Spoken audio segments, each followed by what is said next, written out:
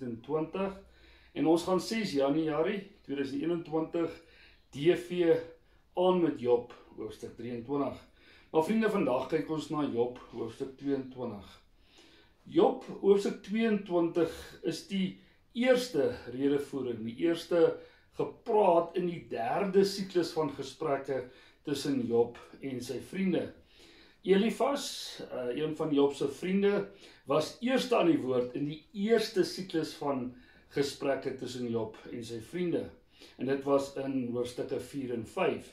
Elifas was ook eerste aan die woord in die tweede siklus van gesprekke in Job hoofstuk 15. Nou is Elifas weer eerste aan die woord in hierdie derde siklus van gesprekke tussen Job en sy vriende. Maar vriende, Elifas gee nie vir ons regtig uh nuwe argumente nie. Hy hy raak maar net weer aan die temas wat hy al aangeraak het in sy vorige gepraat met Job. Wat wel hier in hoofstuk 22 gebeur is dat Elifas baie meer spesifiek raak oor wat hy dink Job verkeerd gedoen het. Maar in Job hoofstuk uh, 1 lees ons ook dat Job onskuldig is. Wat is hierdie sondes wat Elifas dan nou so ophaal, hierdie spesifieke sondes wat Job gedoen het? Maar kom ons kyk gou na 'n paar hoofmomente in hierdie hoofstuk 22. Elifas gee egter kenne dat Job dalk onskuldig kan wees, maar dit maak nie eintlik saak nie volgens Elifas. Want of nou of Job nou vroom of regverdig is en of Job nou goddeloos is, uh God gee nie regtig daaroor om nie. Maar hoekom sal God dan ook nou vir Job straf volgens Elifas? Uh as Job dan so onskuldig is. Dan gaan Elifas voort en hy lys 'n paar baie spesifieke sondes van Job. En dan sê Elifas ook nou Job dink dat God nou daar bo in die hemel is en sodoende kan God nou nie dophou wat mense doen nie en daarom kan mense maar doen wat hulle wil. En volgens Elifas is dit hoe die goddeloses dink, maar die goddeloses sal hulle verdiende loon kry en die regverdiges sal daaroor juig op die einde.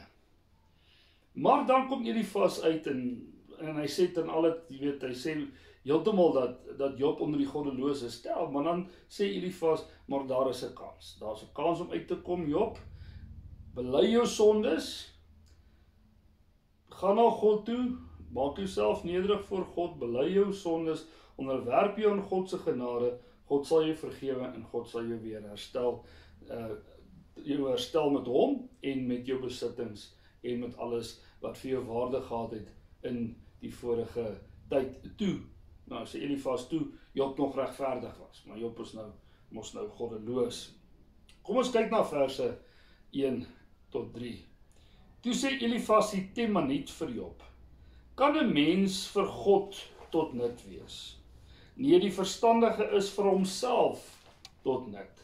Watter belang het die Almagtige daarby dat jy reg het? Watter voordeel het dit vir hom dat jou lewenswandel vroom is? Vriende, Elifas begin hierdie gedeelte deur 'n paar vrae te vra wat Job se standpunt uitdaag. Nou Job se standpunt is dat Job regverdig is, dat hy wat Job is regverdig is en dat hy onskuldig is. Volgens Job 9 vers 20, 12 vers 4. Maar Elifas redeneer dat of jy nou skuldig is of onskuldig is, dit maak nie regtig saak aan God nie. Mense se gedrag volgens Elifas pla God nie regtig nie. God is nie afhanklik van hoe mense lewe of nie lewe nie. God gee nie regtig om of mense goddeloos of regverdig is nie.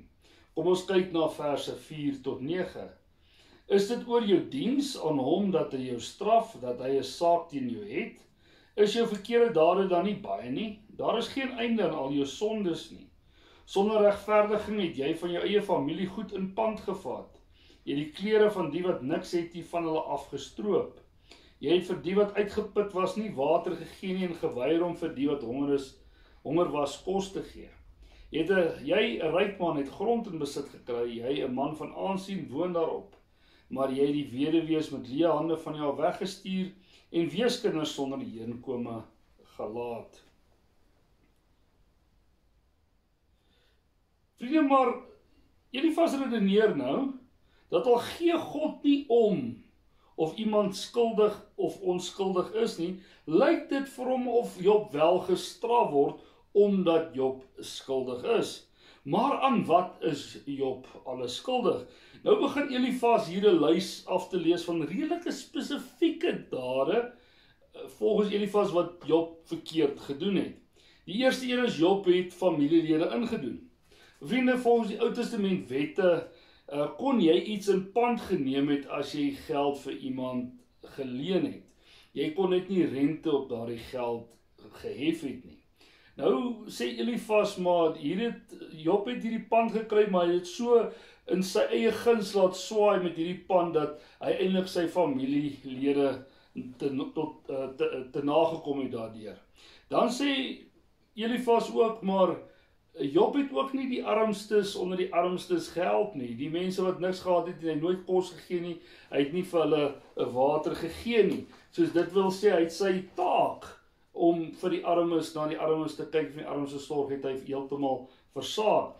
En die en dan kyk ons na wat wat Elifas hier sê oor die weduwees en die weeses. Ons weet ook vriende dat die weduwees en die weeses in die antieke tye in die antieke lewe van die mees weerloses van 'n samelewing was, want hulle het nie meer 'n man en of 'n pa gehad wat hulle kon beskerm het nie. En Job het nie vir hierdie weerloses gesorg nie. Maar die vraag is, vriende, hierdie beskuldigings, al is dit baie spesifiek, is was Job regtig skuldig aan hierdie spesifieke misdade wat wat Elifas sê Job gedoen het. En dit en en en ek dink wat dit moeilik maak is die feit dat hierdie lys baie spesifiek is. Dat eh uh, dat Elifas spesifieke dinge uitwys, maar nou weet ons ook En uh in ons wat nou die verhaal lees, weet en dit is in begin hoofstuk 1 redelik pertinent vir ons gesê, maar Job is onskuldig. Wat gaan dan nou met hierdie lys aan? Vriende, en, en ons kan nie eintlik tot by 'n ander gevolgtrekking kom dat Elifas hierdie beskuldigings opmaak nie, maar vriende, dink nou 'n bietjie daaraan dat jy uh, jy sit jouself in die skoene van Job, jy's siek, jy het alles verloor, jy's oortrek met die swere En dan kom jou vriend vir jou en jou vriend sê vir jou jy het goed gedoen. Jou vriend beskuldig jou daarvan dat jy goed gedoen het wat jy nie gedoen het. Jy redelik ernstige goed in die in die omgewing waarin jy gewoon het. 'n Redelik baie ernstige misdade uh wat uh waar jy jou familie te nagekom het en die armes nie gehelp het nie. Baie groot uh oortreding wat natuurlik jou aansien in die gemeenskap uh natuurlik sou be beïnvloed het en jou vriend beskuldig jou daarvan. Dink bietjie daaraan hoe sou jy gevoel het. Kom ons kyk na verse 10 tot 11. Daarom is daar net vangstrikke rondom jou en het die angs jou skielik oorval. Daarom is dit so donker dat jy nie kan sien nie en verswelg vloedwaters jou. Volgens Elifas vriende kry Job nou sy verdiende loon. Want goddelose mense loop in vangs, vangstrikke in. Ons lees dit by Job 18 vers 9. Goddelose mense ervaar angs, Job 15 vers 22. En donkerte en vloedwaters is gewoonlik die strawwe vir goddelose mense se sondes. Ons lees daarvan in Job 5 vers 14, Job 15 vers 13, 18 vers 6 en dan vers 18. Maar kom ons kyk nou na verse 12 tot 20. Is God dan nie hoog in die hemel nie? Kyk net hoe hoog sit die sterre. Jy dink dalk, wat weet God? Hy regeer uit die donkerte uit. Daar is wolke rondom hom. Hy kan nie sien terwyl hy daar bo in die hemel gewel wandel nie. Wil jy op die ou pad bou? Wil jy op die ou pad hou wat deur sonnige mense uitgetrap is? Hulle is weggerig voor hulle tyd. Die dinge waarop hulle gebou het is deur 'n stroom meegesleer. Hulle het vir God gesê, "Laat staan ons. Wat kan die Almagtige aan ons doen?" En dit terwyl dit hy is wat hulle huise met rykdom vul. Daarom bly ek weg van die raad wat van goddeloses afkom. Die wat reg doen sien die ondergang van die goddeloses en is bly. Die onskuldiges spot met hulle. Ons vyande is daarmee heen. 4 het hulle besittings verteer. Vriende Elifas herinner vir Job dat God bo alles verhewe is. God is selfs bo die sterre verhewe. Daarom sien God alles en weet God van alles. Maar Elifas dink dat Job nie so dink nie. Uh Job is goddeloos en hy en daarom dink Job dat Job kan wegkom met goed sonder dat God dit sal raak sien. Maar ons weet ook dat Job ook wonder of God regtig van sy situasie bewus is. En dit is ook hoekom hy God wil ontmoet. Dis hoekom hy sy saak na God toe wil vat, want hy wil God inlig oor sy situasie. Job dink ook dat God dalk oor sy situasie bewus kan wees, maar dat God nie regtig vir Job omgee nie. En Hoekom sal God volgens Job regtig omgee? God is dan onregverdig omdat hy die goddelose en die regverdige dieselfde behandel. Soos volgens Job is God selfs al sal hy bewus bewus wees van Job se probleme, is God in wese onregverdig en sal dit hom nie regtig help nie. Elifas gaan dan verder en hy wonder hoekom gaan Job dan nog op hierdie goddelose pad aan? Want vir Elifas is goddelose gedrag heeltemal onaanvaarbaar. God gee vir hulle alles, maar tog het hulle nie die nodige respek, die nodige agting, die nodige vrees vir God nie. Hulle dink dat God nie teen hulle kan optree nie. Volgens Elifas sal God die goddelose straf en dan sal die regverdiges hieroor bly wees en juig.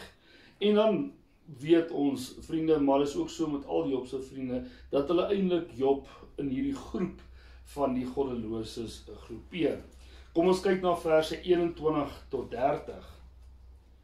Onderwerp jou aan God, dan sal jy in vrede leef en so sal jy voorspoed hê. Laat hy jou leer en neem sy woorde ter harte. As jy terugkom na die Almagtige toe, sal jy herstel word as jy die kwaad ver van jou woonplek afhou jou goud as niks werd beskou, die goud uit oor as so min werd as 'n klip in die spruit. Sal die Almagtige jou goud wees, jou skat aan silwer. Dan sal jy jou in die Almagtige verlustig en jou weer tot God wend. Jy sal tot hom bid en hy sal jou gebed verhoor. Die beloftes wat jy gemaak het, sal jy nakom. Wat jy besluit sal uitgevoer word, sal voorspoedig gaan met jou. Wanneer mense val en jy vra dat hulle opgetel word, sal God hulle sal God hulle die ootmoediges red. Hy sal die skuldiges laat vrykom en hulle sal vrykom deur jou onskuld.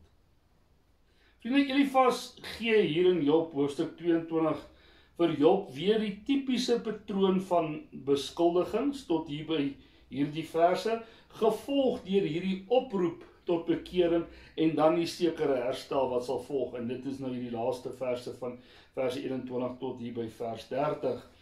In Job 15 vers 17 tot 26 het Elifas hierdie selfde patroon met Job gevolg. Dat dis al is Job volgens Elifas deel van die goddeloses.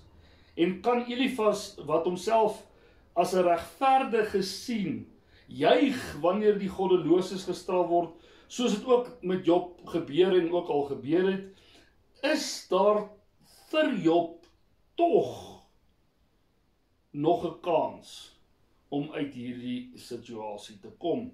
Job moet homself net tot God wend, homself onderwerp aan God se genade, sy sondes bely en dan sal God vir Job vergewe en vir Job weer herstel. Maar hoe kan Job homself tot God wend. En nou gee Elifas 'n paar voorbeelde hier. Volgens Elifas is die belangrikste dat Job weer aan God gehoorsaamheid toon, dat Job sal doen wat God vir hom sê, vers 22. Job moet ook nie vir God uitdaag nie. Uh, wat wat Job wel doen en dit weet ons, maar Job moet homself onderdanig aan God maak. Maar herstel sal net geskied as as Job sy sondes bely. Maar watse sondes vriende moet Job bely? Ons weet dat Job niks verkeers gedoen het nie. Maar wanneer Job sy sondes bely, sal dan sal Job by God kry wat hy nie nou kry. En wat kry hy nie nou nie, vriende? Job roep nou na God. Maar Job voel God luister nie na hom. Nou sê Elifas as Job sy sondes bely, dan sal God weer Job se gebede verhoor. Job sal weer 'n regverdige wees en so sal hy ook as 'n regverdige ander regverdiges kan help. Vriende, ons lees hier in hierdie hoofstuk 22 van die boek Job dat Elifas nou siek en sat is dat Job homself nou so onskuldig hou en dit nie kan regkry om sy verkeerde dade voor God te bely nie. Maar Elifas maak hier 'n baie belangrike stelling en en dis hierdie stelling dat God nie regtig omgee of iemand goed doen of kwaad doen nie. Maar wat bedoel Elifas met hierdie stelling? En die rede volgens Elifas hoekom God nie regtig omgee of mense goed doen of kwaad doen nie, is dat God nie mense nodig het om God te wees nie.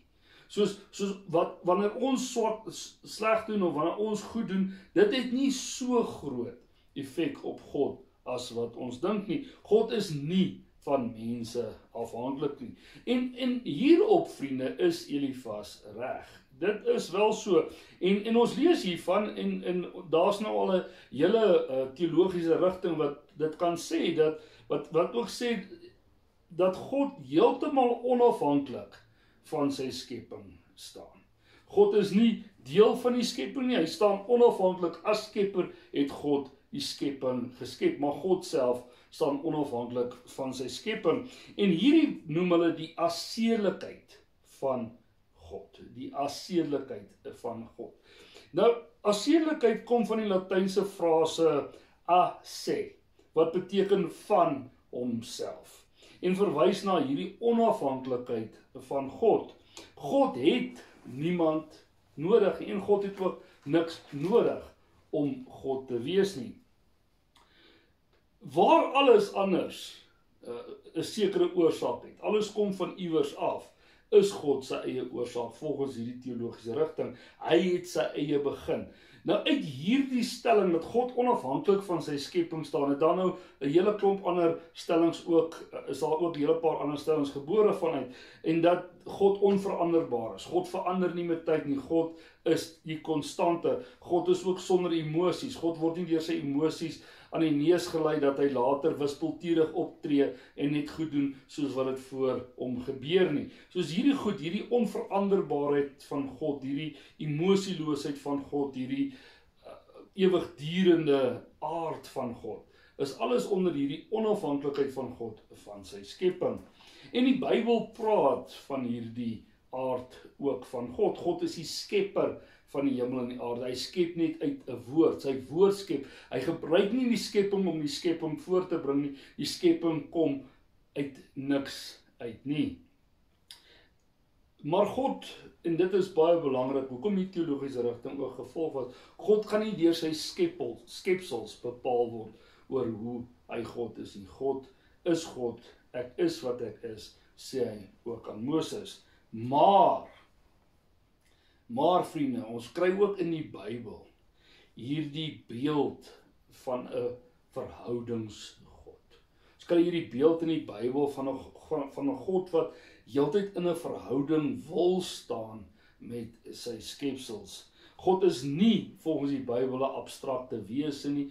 God word nie daar word nie ge, gepraat van dat hy 'n abstrakte wese is nie. God word heeltyd in die Bybel voorgestel in verhale waar God in hierdie verhale in verhoudings met mense tree. God word dan ook baie kere in die Bybel voorgestel met metafore wat 'n verhoudings uh betekenis het. Ons dink maar aan die man en die vrou en ons kry dit baie in die profetiese literatuur in die Ou Testament, ouer en kind, 'n skaapwagter en sy skape. Dit kry ons ook baie in die Psalms, 'n koning en sy onderdane, 'n hen en haar kykings is ook in die profetiese literatuur. Vriende wat baie belangrik is dink ek. As God nie verhou uh, as God nie die sy skepsels nodig het om God te wees nie. As ons nie nodig is vir God om God te wees nie. Vind ons wel in die Bybel 'n God wat 'n verhouding met ons begeer. So ons kry nie dalk dat God ons nodig het vir iets spesifieks nie, maar wel dat God met ons 'n verhouding soek. God wil in 'n verhouding met ons tree. En dit is baie kere wat ons praat van genade. Hoekom ons as gebroke stikkende mense wil die almagtige God in 'n verhouding met ons tree? En dan begin ons te werk met die hele gedagte van genade. Ons is nie goed genoeg nie, maar dit is wat 'n genadige God doen. Vriende, Elifas is dus reg hier as hy die aseelikheid van van God verdedig. Dit dit is ook so dat God so voorgestel word en ons weet ook dat God dit is en ons bly dit ook in ons geloofsblydenis. Maar God gee ook wel om. So ons begin ons belydenis met hierdie belydenis dat God die skepper van die hemel en die aarde is en dan kom ons direk in by hierdie baie belangrike belydenis van en Jesus Christus, sy seun wat gestuur is om vir ons sondes te sterf. En dit is die grootste deel van die belydenis is hierdie verlossingsdaad van God deur Jesus Christus soos ons sien ook al is God die almagtige al God al is God uh, uh, aseelig onafhanklik van sy skepping is hy tog deur sy eie keuse in 'n verhouding met sy skepping en dit is vir ons absoluut 'n wonderwerk en iets op waaroor ons baie baie dankbaar is. Vriende, ek lees vir julle Job hoofstuk 23 en hierdie is dan Job se antwoord op wat Elifas vir hom gesê het. Toe het Job weer gepraat. Ek kla nog steeds uit my op opstandigheid. Ek kan nie ophou kla nie. As ek maar geweet het waarom God te vind, sou ek na sy woonplek toe gaan en my saak voor hom lê, my pleidooie aan hom stel. Ek sou van hom antwoord probeer kry, probeer verstaan wat hy vir my wil sê. Hy sal tog nie met sy groot krag teen my 'n saak voer nie. Hy sal my dit nie aandoen nie, want dit sou 'n opregte mens wees wat daar voor hom pleit en ek sou vir altyd deur my regter vrygespreek word. Maar gaan ek na die ooste toe, hy is nie daar nie. Na die weste, ek kry hom nie. Sou hy in die noorde aan die werk wees, ek vind hom daar nie. Ek vind hom nie daar nie sou hy na die suide toe draai, ek sien hom nie. Hy ken my pad. As hy my toets, is ek suiwer soos goud. Ek volg hom waar hy gaan. Ek hou op sy pad en draai nie af nie. Sy bevel verontagsaam ek nie. Ek reg meer waarde aan sy woorde as aan my eie begeertes. Hy bly dieselfde. Wie kan hom teenstaan? Wat hy wil doen hy, wat hy oor my besluit het, sal hy doen wat sy planne met my ook al is. Daarom staan ek vreesbevange voor hom. Ek probeer verstaan, maar ek bly hom vrees. God het my weerstand afgebreek. Die Almagtige het my met angs vervul. Maar in hierdie donkerte het ek nie stil gebly nie. In hierdie duisternis wat my oorval het.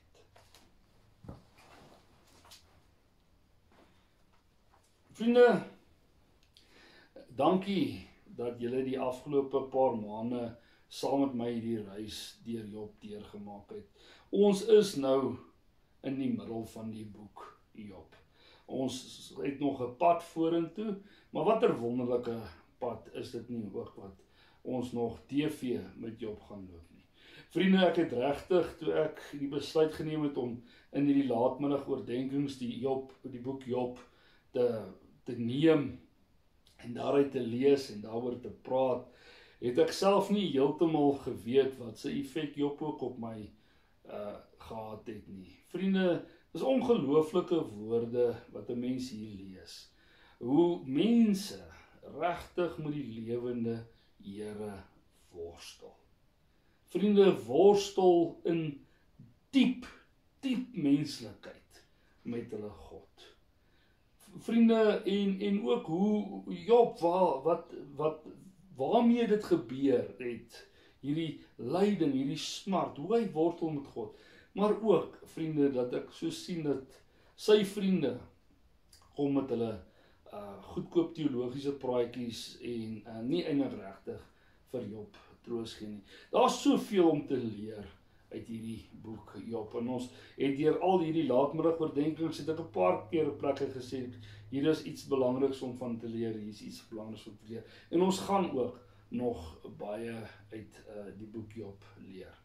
Vriende, dit is wonderlik vir my, uh, nie net as 'n diener van die woord nie, maar ook as 'n gelowige om deur hierdie boek wat in ons Bybel is, die woord van God, deur hierdie boek te gaan en net soveel uh, rykdom op te doen van wie God vir ons is. En en ook maak nie saak vriende wat met ons in hierdie wêreld gebeur nie. Ons het 'n verskriklike slegte jaar gehad met COVID-19 en dit lyk asof dit nog nie verby is nie. Kan ons maar altyd weet dat God daar is. Maak nie saak hoe ver hy voel Maak nie saak hoe deur watter swaar tye 'n mens gaan nie.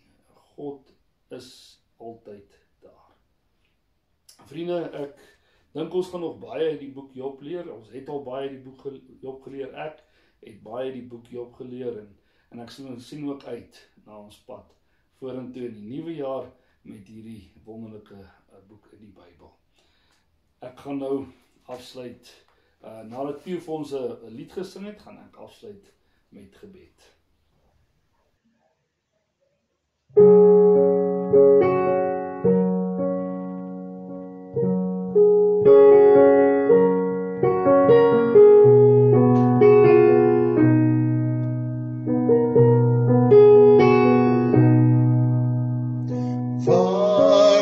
like harm by these are like.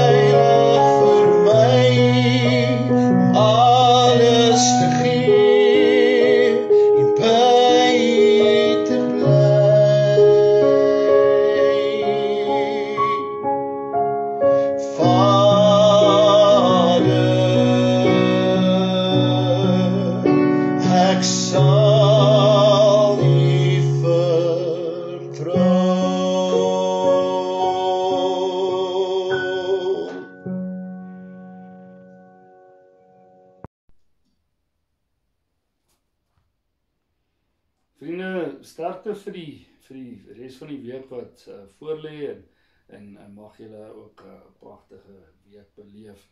Kom ons sluit die oë en en ek bid vir julle. Vader, Seun en Heilige Gees. Voel ons soms dat U ver is. Voel ons soms dat U nie regtig omgee nie. Ja, Here. Dit is ook so.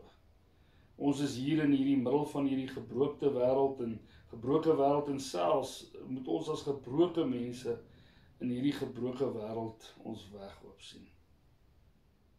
Maar hiervan is ons oortuig, Here.